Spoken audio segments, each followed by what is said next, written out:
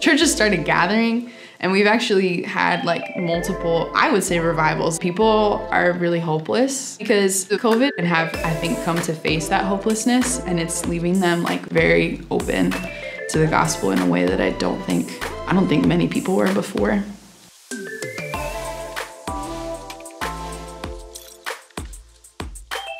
My name is Katie Grindle and I started coming to BCC when I was probably 14 or 15 in my freshman year of high school and I came up in the youth group and now I live in North Philly and I work for Young Life. I think that I didn't know what a gift it was, like the kind of community that we had um, in high school. I didn't like regain that kind of community until this year really.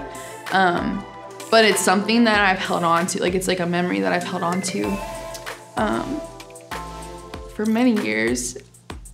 And I think based on that experience, like when I'm um, with my kids now, I have four or five kids that are starting to have that kind of community with each other. It helps me to speak into that more directly and be like, this is good for you. I'm helping to restart ministry at Esperanza Charter High School and Middle School, a school that um, it's not Christian, but it has Christian roots. And we're trying to restart clubs, so having an, an event that's bi-weekly close to the school where any kid can come they can play games, they can eat pizza, and then they'll hear a leader who's been working in their school um, tell them about Jesus in, in a way that connects with their story and the story of the leader.